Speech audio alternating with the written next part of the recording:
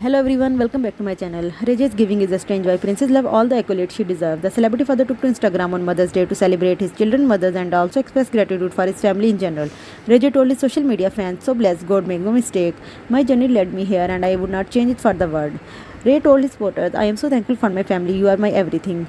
Ray J gave special praise to his wife. You have been the best mom to Epik and Melody. You have dedicated your life to our kids. It's so amazing to see all the positive lessons you teach them and how focused you are on making sure they are safe and smart. I am so happy to choose me to be their father. I appreciate you everything and I love you forever. Princess Love recently revealed her willingness to remain married to Ray despite their independent divorce during an interview. We love each other, but when you spot trying, then you have to do what they have, you have to do. Princess shared with the press, I don't know what I want, but you know when somebody keeps filing for divorce, you have to give them what they want. She added, You never know, Princess said. The door is always open. Thank you.